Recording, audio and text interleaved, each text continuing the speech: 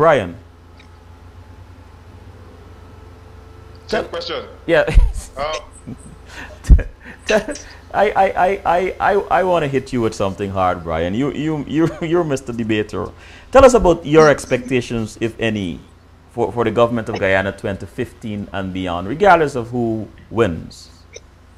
um, well, I, I, unfortunately, I, fortunately, I, I believe that there is going to be a change in government.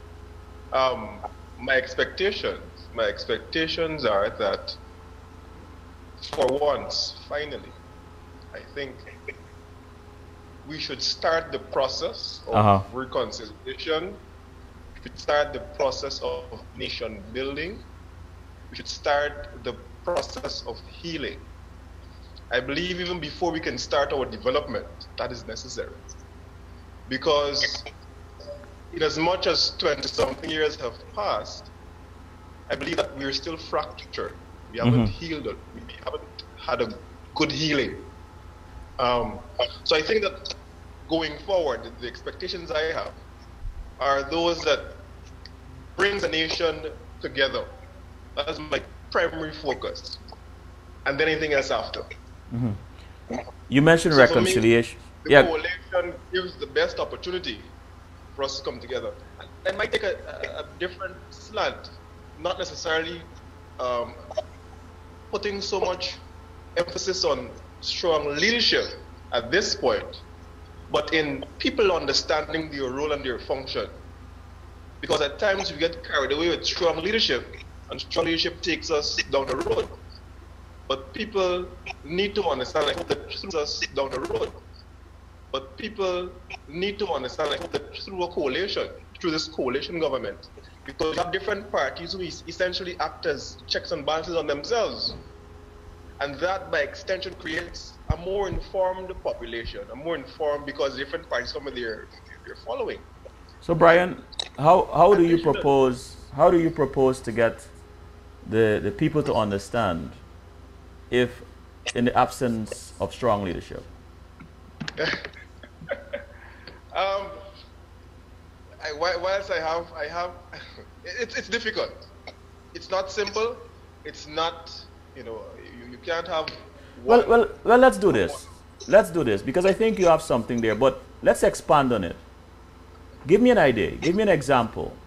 Let's say, okay, let's say you're the principal of a school, and you have a hundred students, and you want to impress upon them the importance of them understanding the, the, the principles and policies of this school without you being around or without you having to See, now, now you put me in quite of a kind of a situation here. But anyway, Brian, what what are you gonna what, what are you gonna tell these My students? first be having the principal dictating what should be the, the school's morals and values. I think that again, through healing and through uh, us coming together as a nation, figuring out where we want to go, I, I, I lean towards the students of themselves coming to a common ground and deciding, you know what, this is what we want, this is what we envision, and then moving forward. I, I would lean towards that, not so much so a principle imposing you know what should be considered. Uh, So so we, so then so then Brian, that means we do need leadership. as I said, it's, it's not simple. There is you must have leadership. You must have leadership. All right, have- all right. Mo- moving along. If if you and while I have you there, if you can ask, if you could ask Presidents Donald Ramotar and former President Bharrat Jagdeo two questions, what would you ask them? I would ask them. The first question I would ask is it why why is it that after three generations, as a taxpayer, you have a community on the coastline that has never seen a road in its life, whilst there are other communities, two communities down, that have had their roads done three times over. That's the first thing I would ask to Mr. the current president. And the second to the previous president, president, Mr. Jagdeo, I would ask, when we realize as a nation that we have an opposition and a government, I would think it uh, astute leadership, astute leadership to reach out to the members of the opposition because, like it or not, even though those persons didn't support you, they have a constituency, they have a following, and they're Guyanese as well. So why would we want to essentially remove them from the negotiation process and do things as though we have 100% government? I think I think I have I, think that Mr. Jad, needs to speak about that and why it is those of the opposition, members of the opposition, haven't been included substantially into the governance of our country. Mm. There may be many, but Rakayo, I, I, I want to get back. I want to get back to you and and dealing with young people. R Rakayo, you have traveled. You have traveled the world, and um, and you had to have been this. You you have traveled the world in the capacity of sort of an ambassador, and you had to have been disciplined with what you with, with your journey. You had to have been very disciplined. You had to have been uh, your conduct had to been good, and so on. If you were talking to a group of young people about the importance of discipline and good conduct, conduct to be taken seriously, what, what would your message be to them? Well, your word and your repetition is basically all. When when you strip apart everything else, um, your word and repetition is the legacy that you build. Mm-hmm. So discipline and conduct is essential in you know in your growth process. So you know people um, respect you as an ex- extension of the, the person that you project yourself to be, and that comes with a lot of discipline. Uh, that comes with the people that you choose to associate yourself with.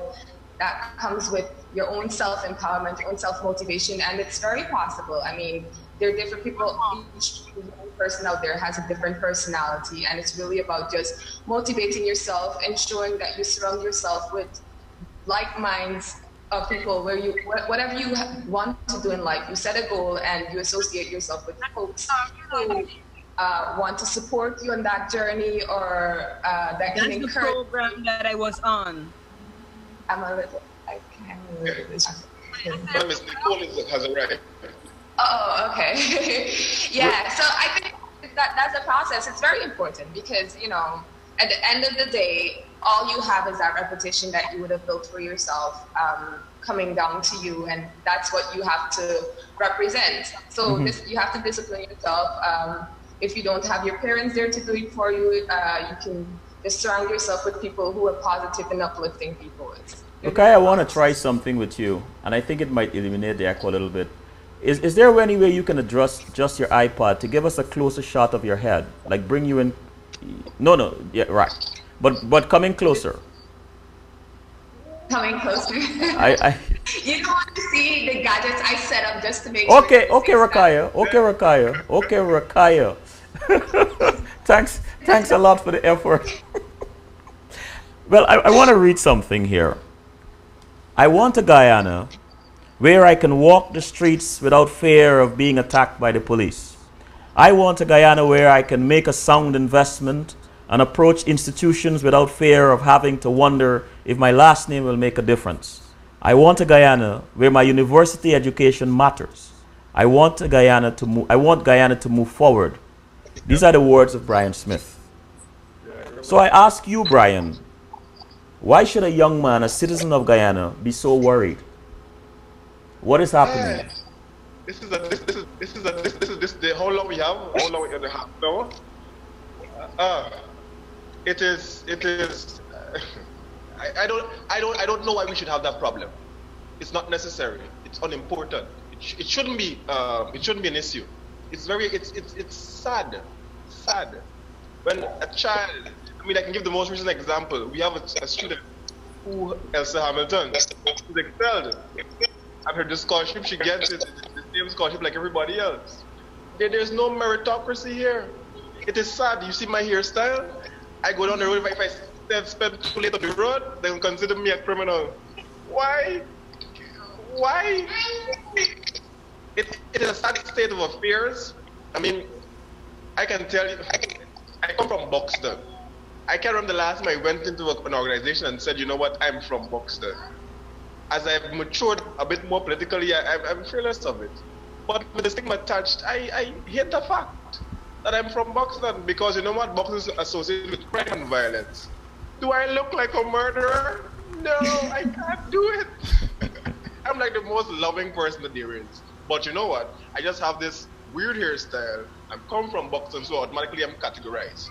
When you were writing these words, what were you present to? What was your what what were you present to as you wrote these words? I was processing. Uh, there was a movement as part of the move forward movement. All right, and I was looking at the Guyana I want, the Guyana I wish to see, the Guyana following a coalition government. What the Guyana is, what's my picture of Guyana, and that's the Guyana I want. And I'm looking at persons of just uh, of my age, of my age group, of my ethnicity, of my educational background, who have the same issues.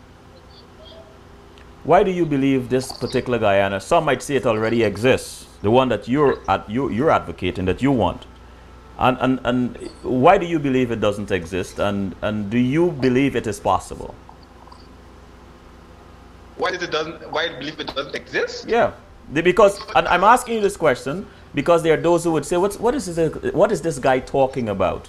We are experiencing the same Guyana that he wants. And I like that. By the way, Brian, I love that look of consternation. Go ahead. Show me the evidence. no, seriously. For every one person who can tell me, okay, this guy exists, I can find without fear of being contradicted at least 10 persons who I know.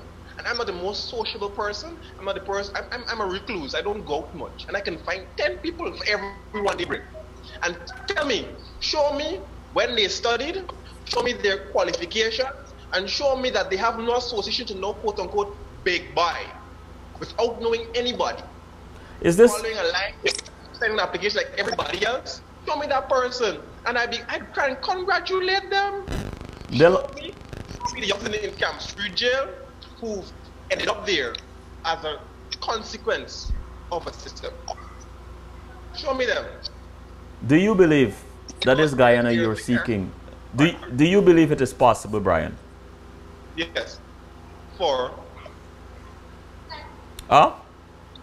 What is possible? This Guyana that you this this Guyana that you want. Do you believe it is oh, possible? Because you know what? Brian is a part of the movement. Rakaya Boy is a part of the movement. Delon is a part of the movement. Royal Jones is a part of the movement. There are young people out there I can continue to name. They might not come to my memory this point who are a part of creating the new Guyana.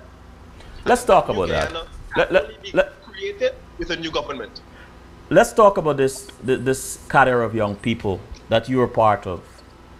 Tell me what is it about your group or about this group of young people that two things give you pause and B gives you hope.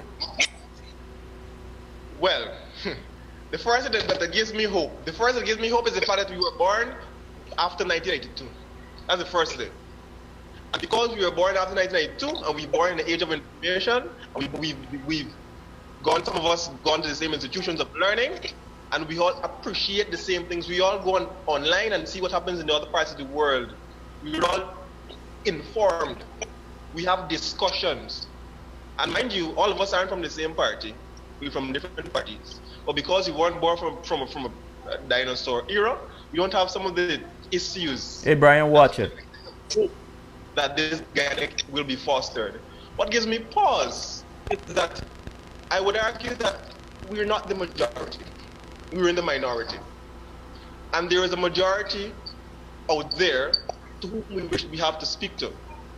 And that majority of persons just like, you know, in the same age group do not understand or cannot understand the problem that we're in. So we have to educate them and help them to move forward with us, mm-hmm. which by itself is a Herculean task. But I'm very confident that if just for nation, it must be done. And, and your sentiments, same question.